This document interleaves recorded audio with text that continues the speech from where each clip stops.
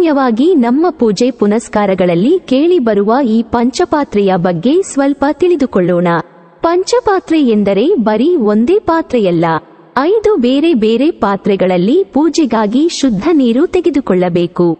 ನಾವು ಎಲ್ಲವನ್ನೂ ಒಂದೇ ಪಾತ್ರೆಯಲ್ಲಿ ಇಡುತ್ತೇವೆ ಮತ್ತು ಮಮೆಂದು ಹೇಳುತ್ತೇವೆ. ಮೊದಲನೆಯದು ಅರ್ಘ್ಯ ಪಾತ್ರೆ ಅಂದರೆ ಭಗವಂತನ ಕೈಗಳನ್ನು ತೊಳೆಯಲು ಅರ್ಪಿಸಲಾಗುವ ಶುದ್ಧ ನೀರನ್ನು ಹೊಂದಿರುವ ಪಾತ್ರೆ. ಎರಡನೆಯದು ಪಾದ್ಯ ಪಾತ್ರೆ ಇದು ಭಗವಂತನ ಪಾದಗಳನ್ನು ಶುದ್ಧೀಕರಿಸಲು ಅರ್ಪಿಸಬೇಕಾದ ಶುದ್ಧ ನೀರನ್ನು ಹೊಂದಿರುವ ಪಾತ್ರೆಯಾಗಿದೆ.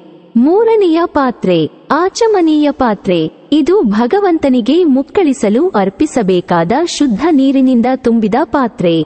ನಾಲ್ಕನೆಯದು ಸ್ನಾನದ ಪಾತ್ರೆ. ಇದು ಭಗವಂತನಿಗೆ ಸ್ನಾನ ಮಾಡಿಸಲು ಅಗತ್ಯವಾದ ಶುದ್ಧ ನೀರಿನಿಂದ ತುಂಬಿದ ಪಾತ್ರೆ. ಐದನೇ ಪಾತ್ರೆ ಶುದ್ಧೋದಕ ಪಾತ್ರೆ. ಇದು ದೇವರಿಗೆ ಅರ್ಪಿಸಲು ನೀರು ತುಂಬಿದ ಪಾತ್ರೆ. ಇವು ಐದು ಪಾತ್ರೆಗಳು.